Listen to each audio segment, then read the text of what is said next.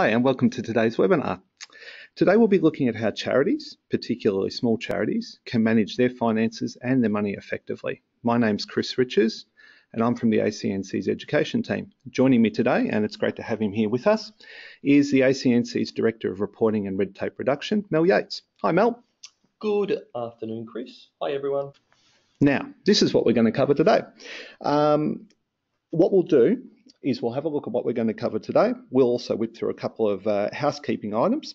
So if you have any troubles with the audio for the webinar, you can try listening through your phone.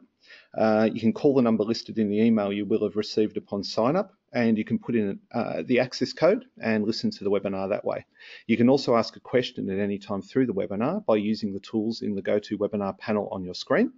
Um, feel free to ask questions during the webinar by typing them into the GoToWebinar interface. We've got our colleagues uh, Eric Lee, who's a senior accountant here with us, and Katrina from our education team. Uh, they're on hand to respond.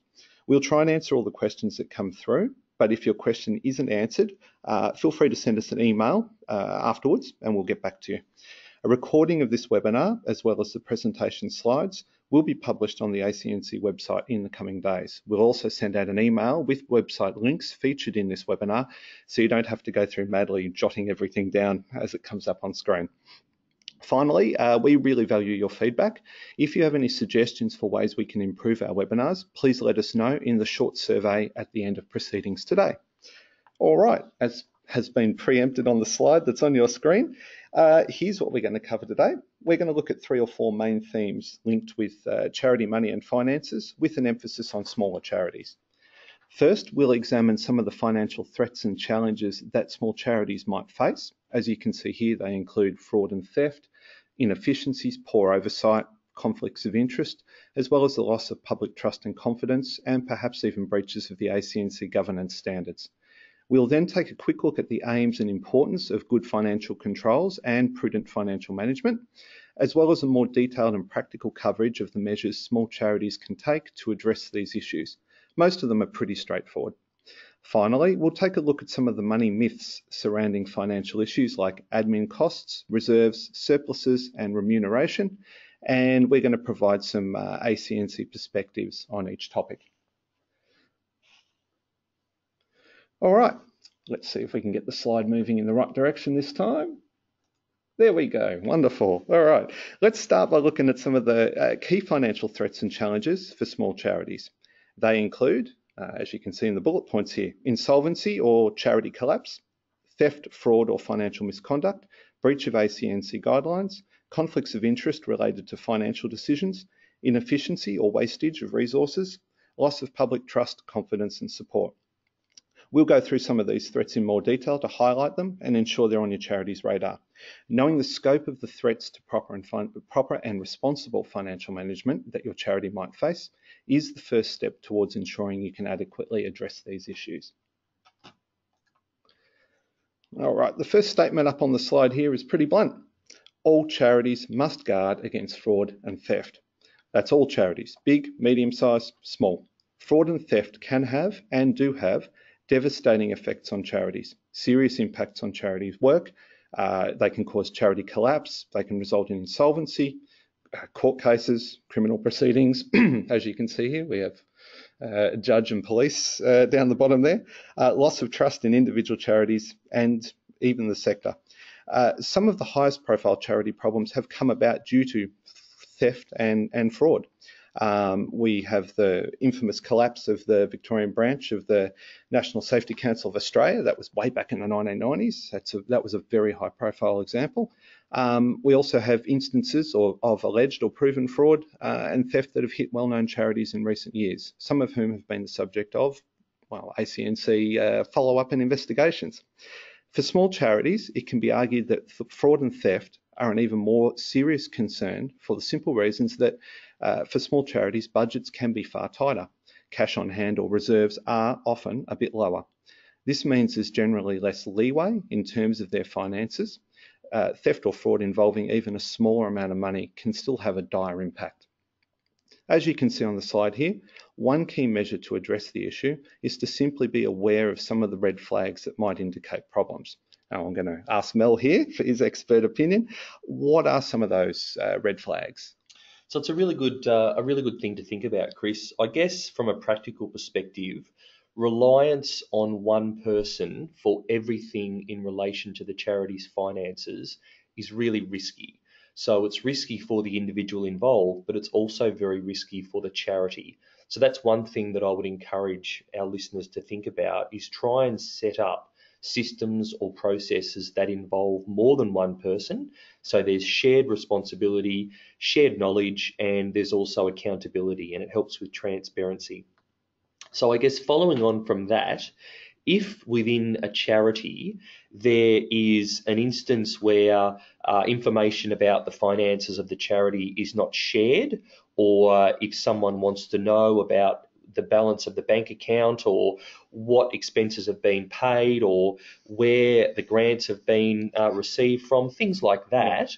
And if they're asking questions of the treasurer and the treasurer is unable to answer those questions or is unable or unwilling to give information, that's a very strong indicator that there's something not quite right. Yeah, yeah. Charities are obviously set up for public benefit, so they need to be transparent in their operations and their financial management. So there are a couple of things I'd, I'd sort of think about. Okay. Now, um, on the slide here also, we, we mention uh, insolvency and, and we reference uh, Governance Standard 5. Um, now, we're going to refer to further governance standards on our next slide, which, there we go, look at that. Um, now, all registered charities must comply with ACNC governance standards. Uh, there are five of them. Uh, you can find them at acnc.gov.au forward slash governance standards. Um, now, the website, the ACNC website, provides a great rundown of the governance standards for any charity, new or existing, or for any responsible person. Charities, of course, need to comply with all governance standards to retain their registration with the ACNC. And when it comes to charities and responsible financial management, a couple, couple of governance standards stand out. Governance Standard 3 requires charities to act lawfully. Of course, even without Governance Standard 3, your organisation would be compelled to operate within the law. But the standard states it explicitly and does so to ensure charity assets, reputations, and people are protected.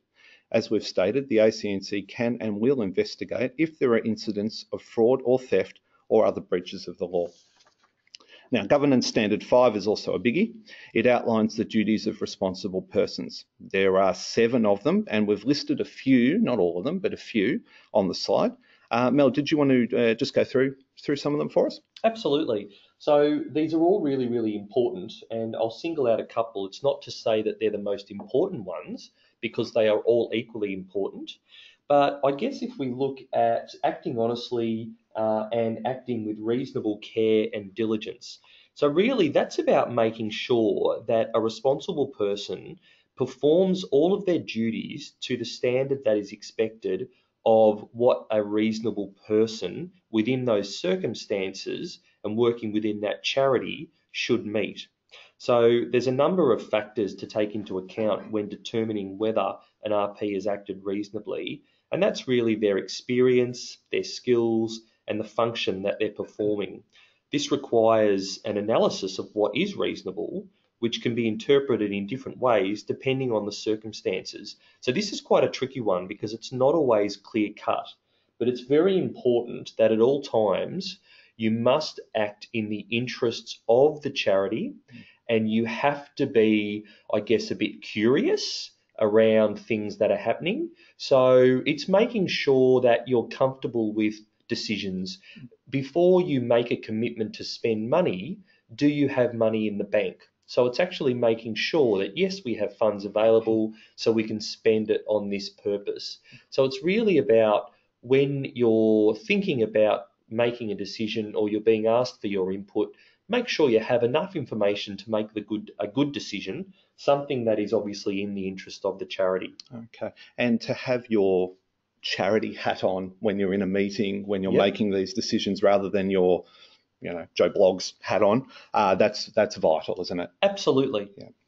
Now, there's a, there's a couple of links there at the bottom of the, the slide, uh, Gov Standard 3 and Gov Standard 5. Um, they provide a, a great rundown of the governance standards. Um, and obviously, there's a, the general governance standards link that, that gives a rundown of, of all five of them. Now, we'll click again. There we go. We've got conflicts of interest. Now, conflicts of interest particularly linked to uh, financial matters. Um, we've mentioned conflicts of interest uh, in passing. Uh, all charities and, and their responsible persons can encounter conflicts of interest. But those on the boards or committees of smaller charities or those which operate in smaller towns, maybe rural regional areas, uh, they need to be especially vigilant.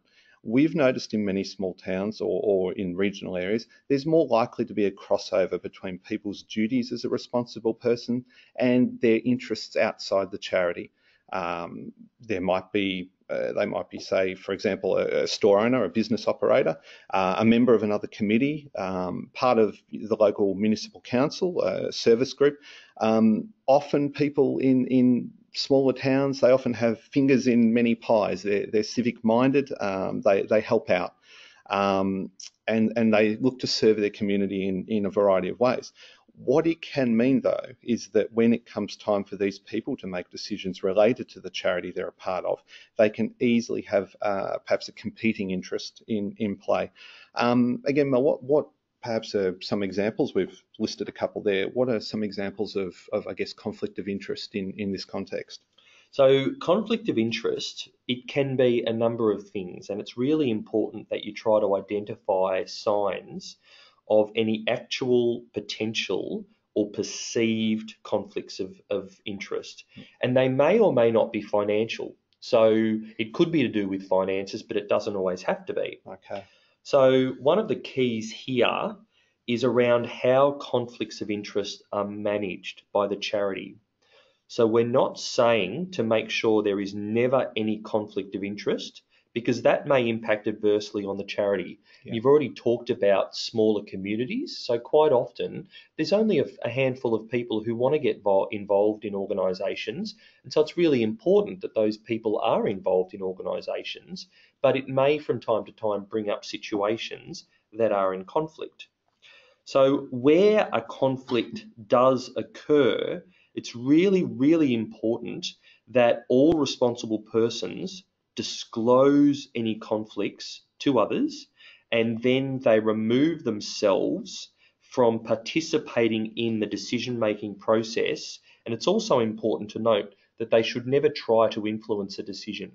So it's really, really about identifying a conflict of interest, disclosing that there is a conflict of interest, and then removing yourself, if you do have a conflict, from being part of the decision let the other members of the board or the other responsible persons have a think about what is in the best interests of the charity and they can make a decision. And often we see, uh, I'll say probably the example here of a local council meeting, for example, if there's a committee of council or even a main council meeting, you often see uh, councillors or even council officers um, stand up, declare a, a conflict or a perceived conflict of interest, and they literally exit the room. Uh, they exit the room, they close the door, there's no discussion until they've left the room, and then discussion and decisions made. So not only are they not taking part in the decision making process, they're not even part of the discussion uh, as well, which means that they can't really sort of influence or be seen to influence uh, the discussion. So that's, I guess, a very practical example of, of what you can do. And I think that's a really important point, Chris. You've really hit the nail on the head there. Where there is any conflict of interest, they actually shouldn't even be part of the discussion about it. They should remove themselves from all deliberations and let the remaining responsible persons make the decision that is in the best interests of the charity. And there might be examples of this. For for instance, you might uh, in a smaller community there might be a responsible person who owns and runs a cafe, and the charity that you're involved in may need some catering, and that cafe owner or the responsible person, one and the same, they might offer to provide the catering for the charity, but for a discount uh, compared to what they would normally charge to other people. Now, in that instance, it's really clear that there's an actual conflict of interest there. So that responsible person should make the offer for the catering and then uh, withdraw from the discussion, remove yeah. themselves from the conversation, and let the other responsible persons decide whether they choose to get the catering from that cafe or they might choose to get it from another source. But it's really important that the cafe owner is not part of the discussion or the decision making and they really should not try and influence. They should let the other responsible persons make that decision in the best interest of the charity. Indeed, indeed. Uh, we, next slide looks at um, inefficiencies uh, and, and, and wastage. Um, now it's it's pretty sort of obvious that charities need to manage their money well. Um, we've got in Australia, uh, 40% of our registered charities have less than uh, $50,000 uh, in uh, annual total revenue. That's according to our most recent Australian Charities report. Um, because of this, many organisations simply don't have the leeway to be inefficient or, or waste money we know that so many charities run on the smell of an oily rag and, and that they are extremely efficient uh, and that they do everything they can to make their money stretch as far as possible because if they didn't, they probably wouldn't be around anymore. Um, but beyond running efficiently uh, to ensure you meet your aims, ACNC Governance Standard 5 again comes into play. Uh, running inefficiently or wasting charity finances may see you breach Governance Standard 5. Uh, which sets out to ensure a charity's financial affairs are properly managed. Again, uh, down the bottom there, you'll see there's a couple of handy links uh, on this slide to, uh, to spots on the ACNC website that can help you avoid these problems. Uh, and of course, we'll be looking at how you can address these issues uh, a little later in the webinar. the next one here, we've got loss of public trust, confidence and support. Now, this is vital. If the public sees that a charity isn't doing the right thing with its money, support for that charity will evaporate. Um, again, we've, we've seen it uh, before. We've seen it here, we've seen it uh, overseas as well. Some charities have perhaps mismanaged their finances, uh, and the repercussions from supporters and the general public uh, have been pretty quick and pretty decisive, and they've ended up hitting the charities uh, involved pretty hard. But the wider problem is the impact that this sort of improper financial management can have on the whole sector. Um, when one charity does the wrong thing financially, uh, that might involve them you know, managing money poorly, uh, not having the checks and balances in place to prevent, uh, say, fraud, theft, that sort of thing. Rightly or wrongly, it ends up reflecting poorly on the sector overall. Uh, this has a flow on effect. Uh, there's a loss of public confidence in charities. Uh, this can lead to a reluctance amongst donors or volunteers to give of their time, give of their money to support the sector, uh, that sort of thing. One of the ACNC's key objects is to maintain, protect, and enhance public trust and confidence in the sector. And not properly managing money is a quick way for charities to lose that trust and to fall on the wrong side of this particular ACNC aim. Uh, now, a little bit more about some of our objects and aims. You can see the uh, the link down there. That's just uh, our about page, pretty much. That goes through some of our, our information. All right. We've got, uh, let's see. What have we got here? We've got addressing some of the issues. Now, one of the, I guess, key ways towards addressing some of these issues that we've we've mentioned over the last few minutes is uh, to look at financial controls and and financial procedures. Um, Mel, what these sound very fancy financial controls and procedures.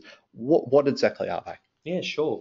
So it's a good question, and really they they can be sort of distilled down into anything that might be a process, a policy, a procedure. It could be something to do with a system, or it could be manual. It's it's anything that can be implemented within the organisation to manage charity finances to ensure that the resources of the charity are used for the charity and by the charity and not for any other purpose. So they really help the charity to minimize risk that the charity's objectives will not be met. All right. Now we've got uh, we've got some some uh, information here up on the screen that looks at some of these uh, controls and, and procedures. Um, now, as, as was mentioned, we've got they can perhaps be formal policies uh, and procedures. They can also be methods uh, which help charities and the responsible persons manage their finances. Um, and in, in doing so, they'll, they'll also help charities meet the ACNC governance and, and reporting requirements. No? So I think one other point to make that's really important is financial controls and procedures are going to be different for every organisation. Yes, very good point. So it's not a one size fits all. But one of the really, really good ways to think about how you might approach this is try not to reinvent the wheel. So speak to other organisations in your area, speak to uh, other colleagues or other people within your networks that you might know and get a sense from them what do they do within their organisation to try to help ensure that all of the charity resources are yeah. used for the proper purposes of the organisation. Yeah. So a lot of these things are not necessarily um, going to lead to complex systems. They might be really, really simple and straightforward, but it's important to think about the context that your charity operates within and what would be fit for purpose and appropriate for your particular organisation. So, so charities that obviously today we're, we're looking particularly at smaller ones. Um, what might be fit for purpose uh, for them is going to be drastically different from some of the very large charities that are existing here in Australia or, or even overseas. Absolutely. Yeah. Now, uh, let's see. We've got some aims, which we've we've sort of touched on already. So we'll we'll very quickly uh, whip through uh, some of the aims of these controls and procedures. Um, the first thing, obviously, they they help uh, effective charity governance and and, and operation. Um, they they maximise charity efficiency and and the impacts that a, a charity can, I guess, uh, put forward. Um, it they help charities uh, take up opportunities which which might present themselves. Um, this is important for smaller charities, uh, especially those that are on smaller or tighter budgets. Um, if they do the right thing in this way, uh, the impact they can have and the ability they can have to uh, to take up opportunities which present themselves um, are maximised, and and that occurs through effective financial controls. Um, controls and procedures they help guard against uh, insolvency, financial problems. Um, this obviously occurs through actually having the charity, uh, the policies themselves in place, but also through the policies fostering increased knowledge, uh, awareness of, of, issues among charity staff, leaders, uh, volunteers even. Um, they also play a key role in reducing the chances of your charity suffering through I guess, fraud, theft related problems, that sort of thing. Um, these issues are more likely to occur where there are poor or inadequate financial controls, financial oversight, or no real vigilance, or even a poor understanding uh, or recognition of some of the warning signs that your charity might be at risk, which we've we've already touched on. Um, now, having functional and usable and practical policies in place, they enhance public trust and confidence in your charity and, by extension, in the uh, in the sector overall. Um, they also paint uh, a picture for donors, and that could be your, your current donors, potential donors as well, that your charity is responsible uh, and it's one that they should consider supporting. Uh, and as we've mentioned before, financial controls uh, help your charity fulfill ACNC requirements, uh, governance standards, uh, reporting obligations, that sort of thing. This means your charity stays registered, and that's that's pretty simple. So we've got some examples of some financial controls uh, and, and procedures. Now, this isn't, again, the whole kit and caboodle. Uh, and also, as Mel quite rightly mentioned before, some of these are going to be more relevant to some groups, some will be more relevant to other groups. So uh, this is giving you as wide as possible information so you can have a bit of a, a bit of a think and a bit of a look. Um, policies, obviously, they form an important part of, of the overall financial, I guess, controls. Um, and again, policies don't have to be long, uh, drawn out written documents uh, with heaps of details and clauses and that sort of thing. They can be relatively short. They can be pretty basic as long as they cover everything that needs to be covered. Um, now, the first couple of policies as you can see up here on the screen, involve uh, money handling, uh, money handling account uh, access and, and permission. Now, when we talk about policies for money handling and account access, um, Mel, what, what should they perhaps include? Yeah, sure. So ideally, and as you've mentioned, Chris, this is not always possible, but ideally, cash management should be done by more than one person so that the, the person who's looking after the cash is not at risk of being accused of something they may or may not have done. And it also makes sure that there's adequate control in place which protects the charity's resources. So, where possible, try and have a policy where if cash is being used, more than one person is present and there at the same time, yeah. so that two people can can sort of uh, double check and make sure everything's okay.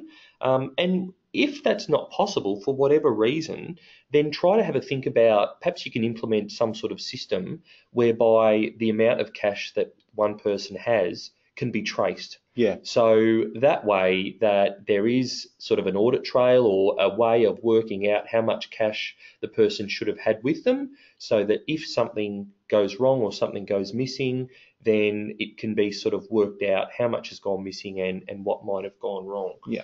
Now that's not to acute, not to say everyone is a thief, but it's just about making sure that the risk is minimised Yeah. Of money going missing or being misused. Yeah.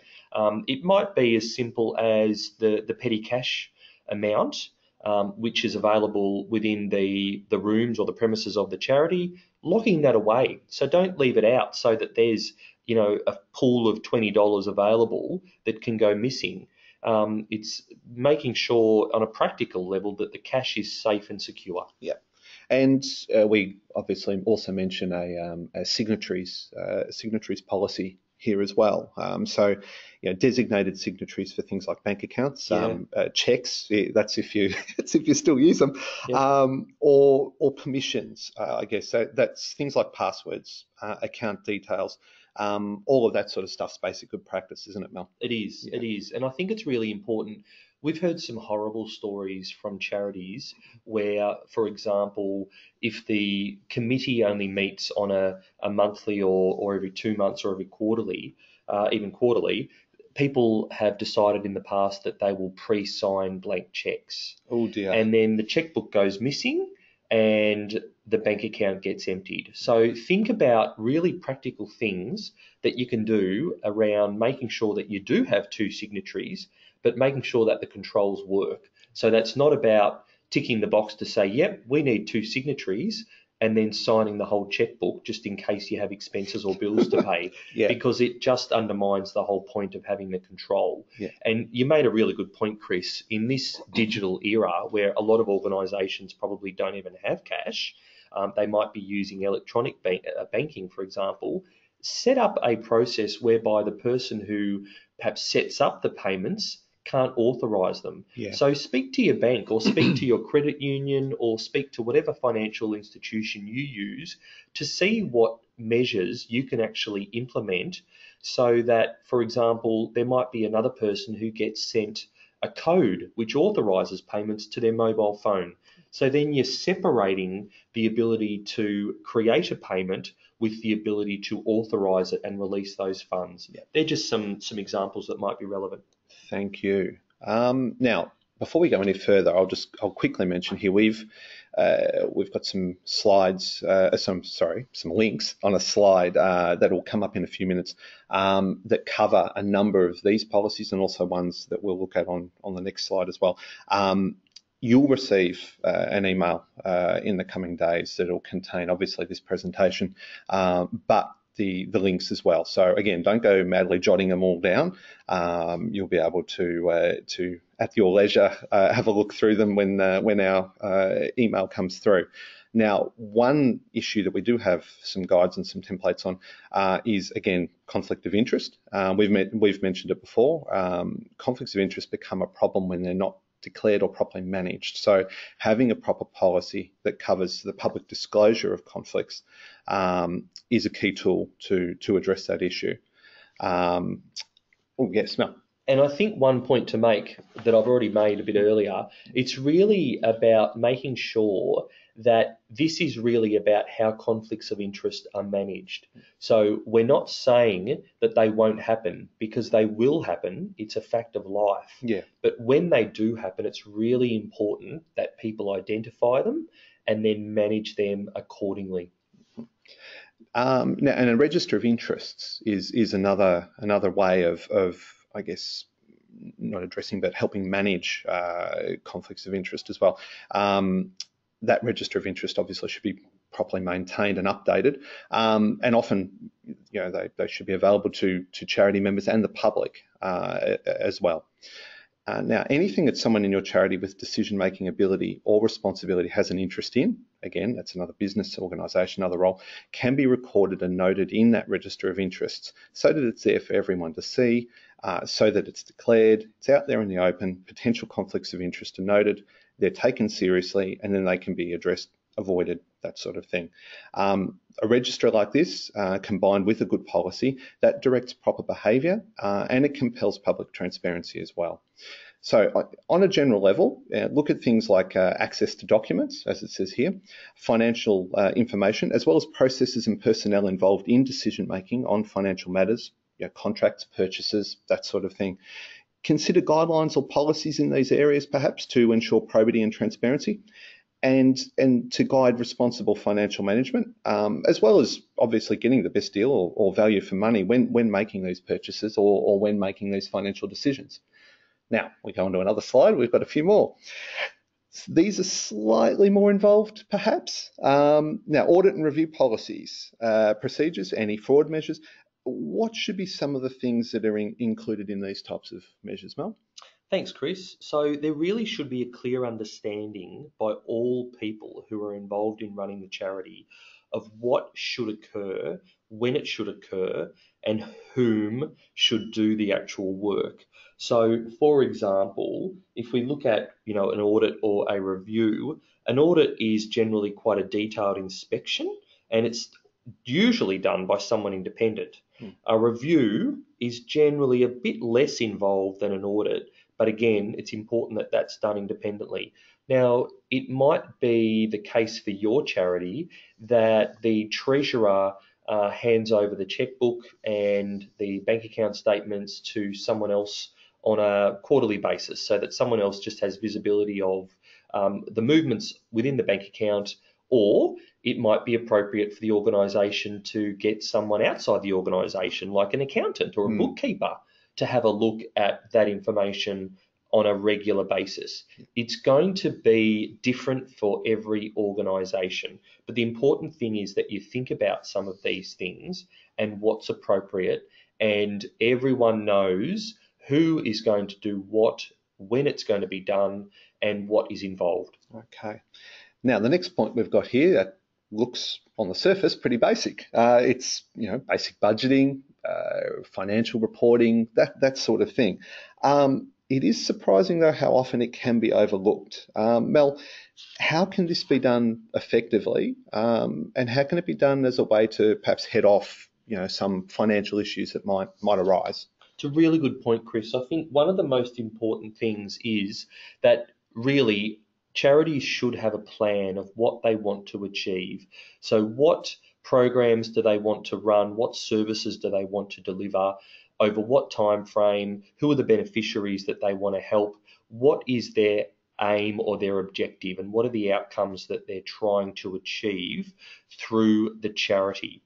Now, I guess in terms of those things, having a bit of a plan, so mapping out where the charity expects to receive funds, where they expect to spend funds, who they're going to receive it from, what they're going to spend it on, that allows the charity to know what they are capable of doing but it's really important that the, the reporting or the monitoring that is done once that plan is made, it really has to have the ability to be changed. Because in Australia, many of us would be familiar with bushfires in summer, with floods in winter. Yes. Sometimes you don't know what's around the corner. So you can have a really good plan, but you might have to tear it up and throw it out the window and respond to a community emergency which is going to call on the resources of the organisation mm. to deliver some of those unplanned services that may be required. So it's about trying to set up a, a, a flexible plan, a plan that doesn't bind you too much, but gives you a bit of a roadmap of yeah. where you want to head to. And then it's about giving some information, even if it's basic information or updates, to the board or the responsible persons on a regular basis so they can keep informed about how progress is tracking Yeah. and if they need to make any decisions or any changes to the plan. We've uh, we've also noted here uh, a couple of other points. Um, the first one here is is uh, is mentioned is a culture of questioning. Uh, now, doesn't mean a culture of doubting. Uh, that's not what it means. Um, when we mention or we encourage a culture of questioning in our charities, we're looking to empower people in positions which require decision making and good judgment to be willing to ask I guess, for more information to increase the chances they'll make the best possible decision. Um, sometimes we have a culture where it's easier to stay quiet. You know, we don't want to rock the boat. Sometimes a little bit of boat rocking can be a good thing. So, from a charity perspective, should ensure that there's plenty of time and scope for people to ask questions, as well as uh, convenient ways for them to gain uh, further information to help them make better decisions and more informed decisions. And I think that's a really good point, Chris. There may be people in organisations where there's actually uh, not the not the ability or, or not the opportunity to ask questions about the finances. Quite often, organisations are so busy with delivering to beneficiaries the products or the services or the programs that are, are needed and so crucial that sometimes there's not necessarily the time and space given to allow the analysis of the finances and to make sure that there's cash in the bank. But that's really, really important.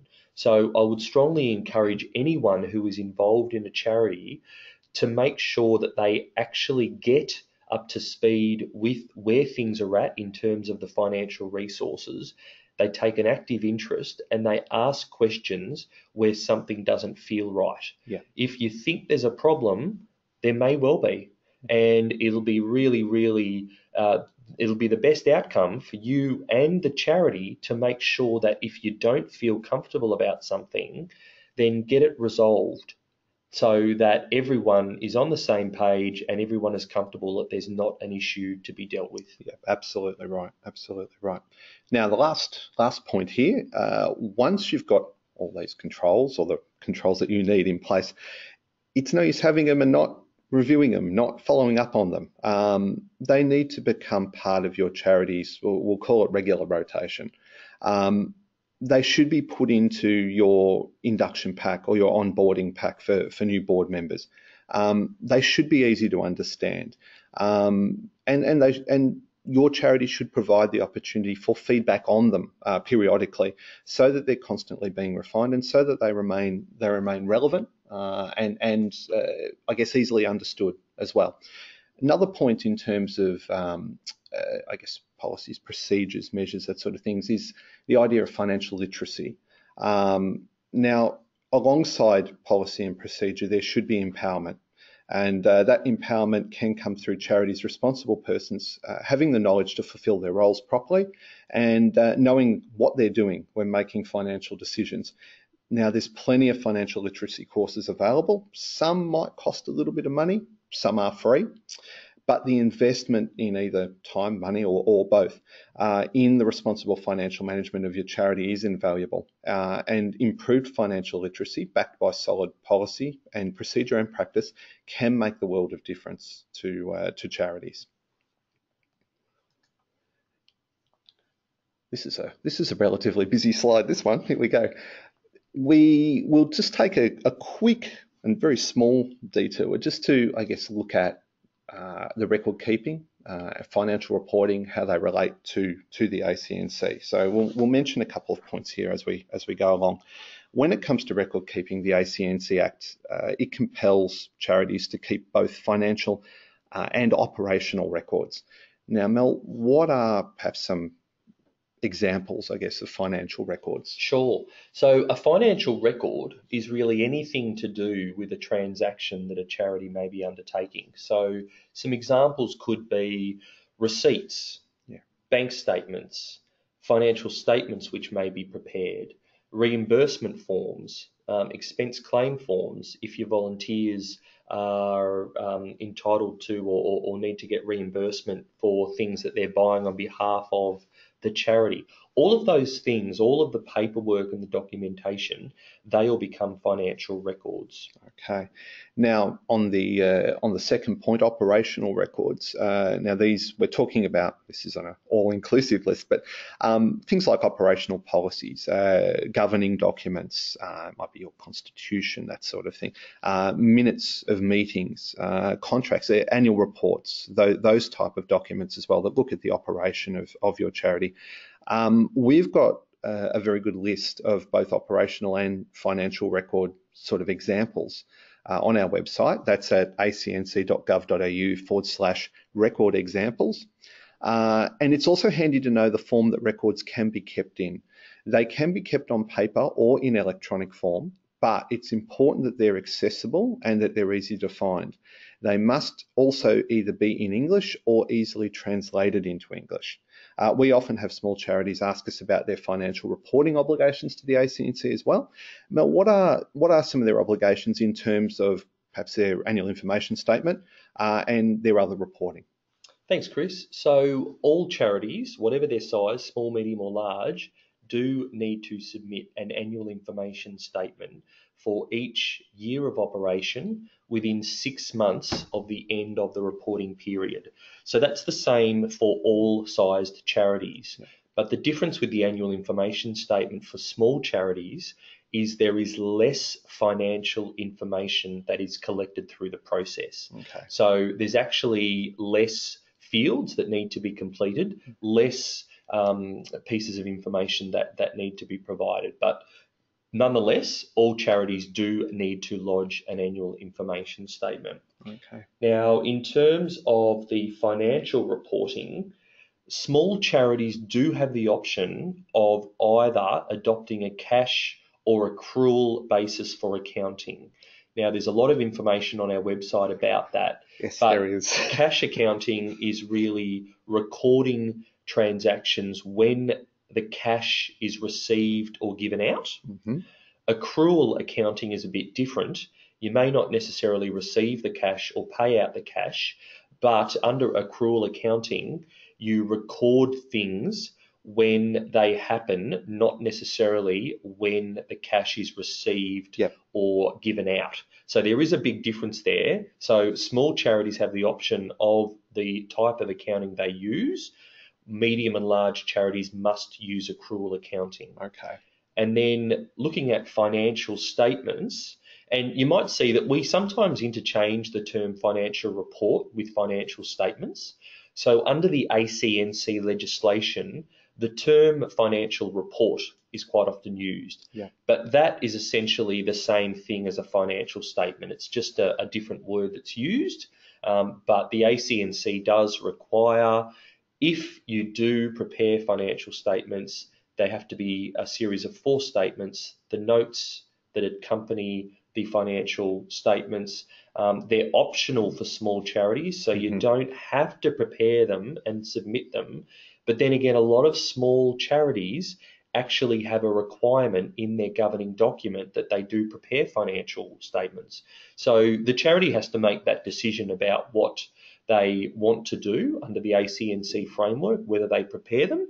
And it's really good practice if small charities do prepare them and they can submit those with their annual information statement. They go up on the charity register, so they're available and accessible to anyone who wants to look at them, um, but they don't have to get those financial statements reviewed or audited. So there is a bit of a difference there. Financial statements are optional, and there is no requirement to have the financial statements reviewed or audited. Okay. Now there's a couple of links there again at the bottom of uh, that slide and going to that slide, there's some more links for you. Uh, again, don't worry about jotting them down. We'll send this information through to you all uh, in the coming days, uh, both uh, in terms of a, an email coming out, but also a link to the presentation when it's uh, uploaded on our on our website as well. And again, you can go and have a look at these various pages and bits and pieces of information at your leisure.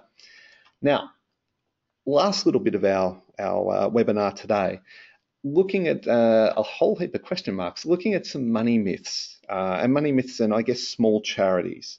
What we want to try and do, I guess, is to fill some gaps around some of these myths um, and provide a little bit of information on each topic, as well as, I guess, where the ACNC stands or, or our attitude to them, just so you know where, where we stand and, and, and what's, uh, what we reckon, I, I suppose.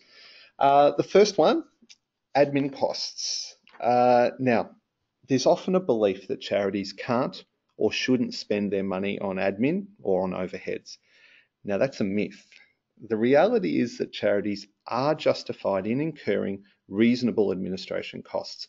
Now, the emphasis is on the word reasonable. Spending money on admin is a part of running a professional, effective, and sustainable charity. If admin costs are reasonable and justifiable, then there shouldn't be any problems. Again, there's a link, a link down there uh, to a, a spot on our website that provides a little bit more guidance on the matter. Our second myth, surpluses. There is a myth, uh, and there's a myth uh, that's very widespread. There's uh, a belief in an organisation that I actually am a, am a part of that charities can't make money. They can't record a surplus. Uh, now, that's not true either.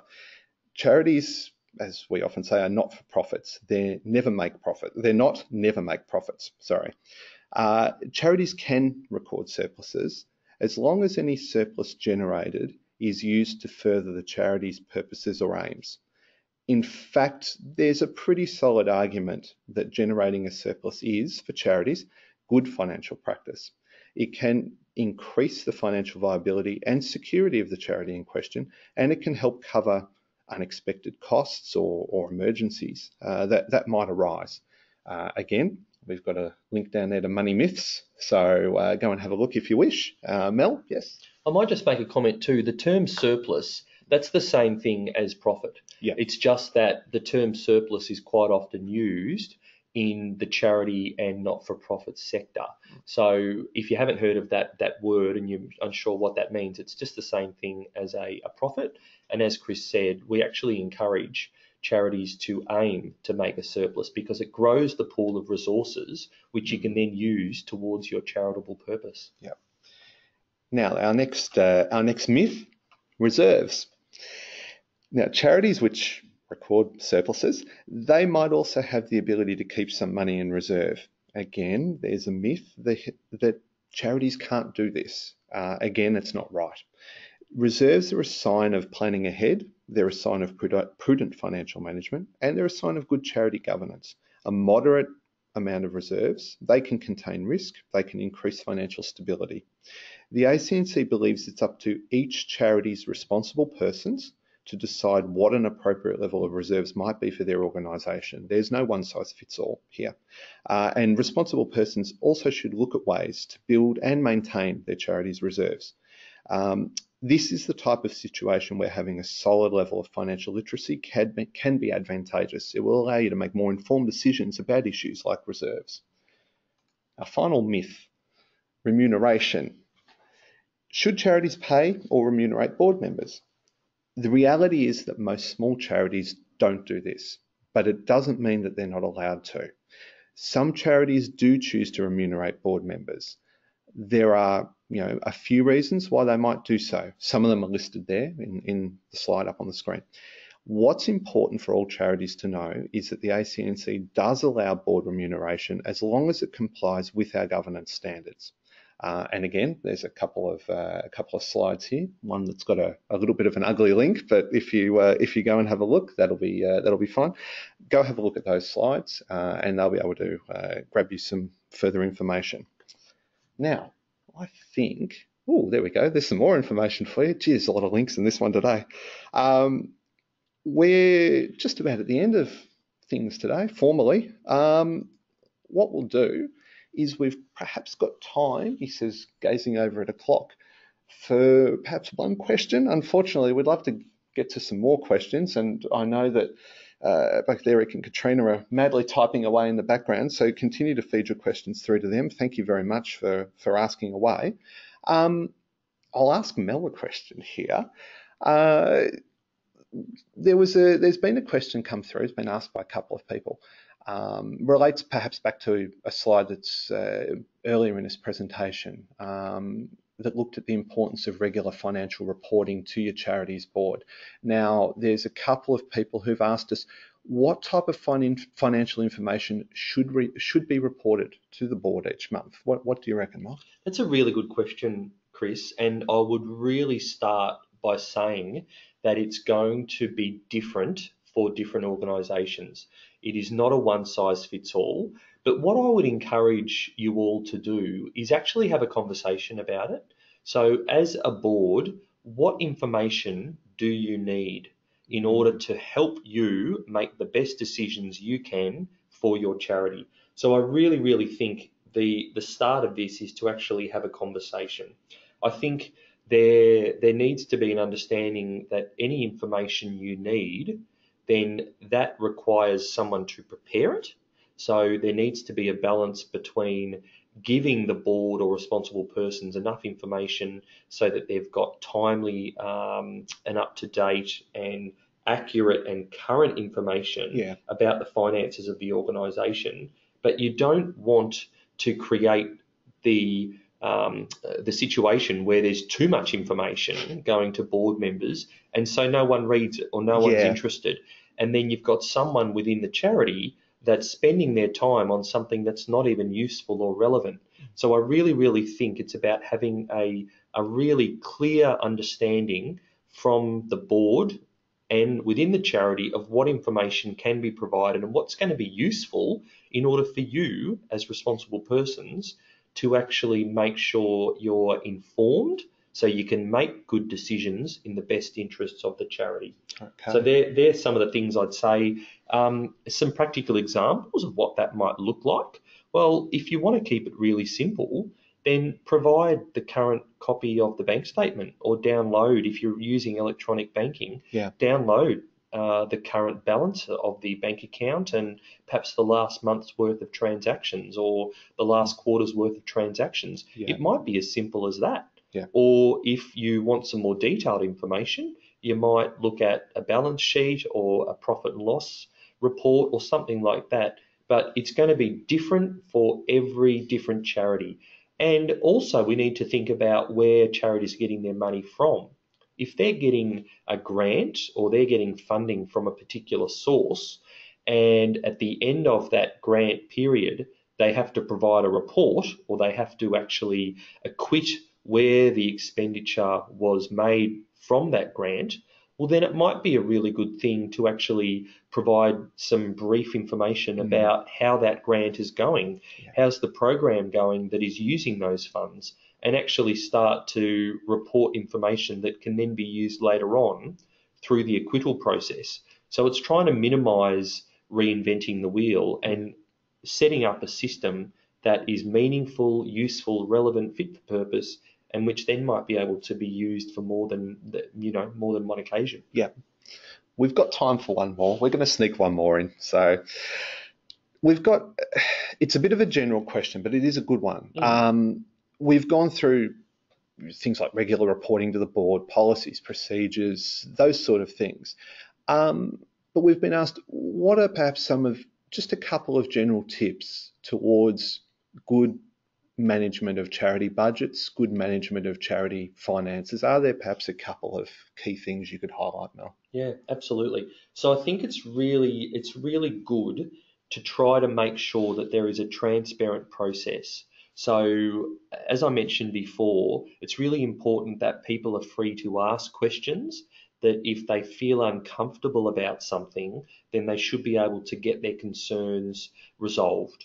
Mm. So there's nothing worse than when you think something is wrong and you keep asking the treasurer and the treasurer's response might be, I'll stop asking about the missing $50. Don't worry about it. It's not Yes, important. Yes. Well, actually, it is important. Yeah. If that missing money can't be accounted for, then there is a problem for the charity. Yeah. So it's really about allowing the conversations to take place so that everyone is informed on the board and everyone feels comfortable.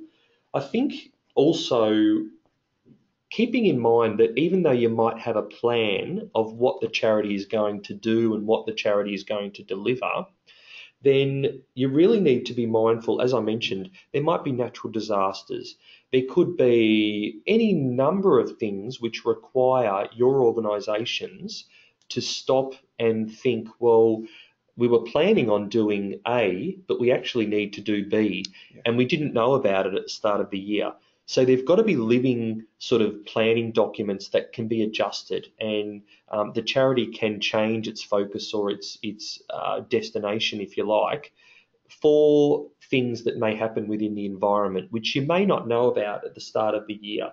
So you want to have some sort of plan to give you structure, but you don't want to have such a firm plan that it's rigid and inflexible. So there's a real there's a fine line there.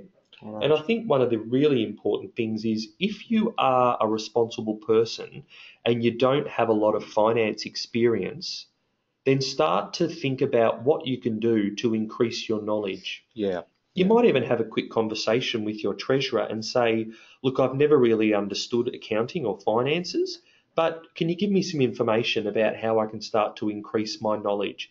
And over time, that will allow you to make sure that where you uh, where you can add value is by asking questions and getting more information, and you'll be more engaged and you'll be more aware of what your charity is doing and how it's performing and the best outcome of all is that that helps your charity to be more successful. Indeed. So Indeed. there's some of um, there's some of my quick points that I'd probably recommend. Wonderful, wonderful. Now, up on the screen right now, we've got a few ways you can stay in touch with us. Um, obviously, through the website, all those links you've seen, around social media, YouTube, podcasts, all of those bits and pieces. Um, we've reached almost one o'clock, so we're going to uh, we're going to wander. I reckon we're going to let you go and have your lunch if it is time for lunch. Um, thank you to everyone who's who's come along today. Thank you to everyone who's typed out some questions and uh, that sort of thing in the background. Thanks particularly to Eric and to Katrina for answering those questions and typing away madly as well a huge thank you to Mel. Thank you very much, Mel, for lending Pleasure. your knowledge and expertise. Um, look, we hope you've enjoyed our presentation today. We're going to flick to the last slide and a big thank you. Um, thanks again. We look forward to you joining us again in the near future. Have a great day. Bye bye.